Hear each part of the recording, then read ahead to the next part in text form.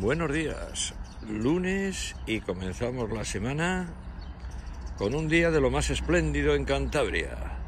Estamos en el barrio pesquero y como podéis ver, el sol ya le tenemos. Ahora os lo enseño, ahora me doy la vuelta y le veis.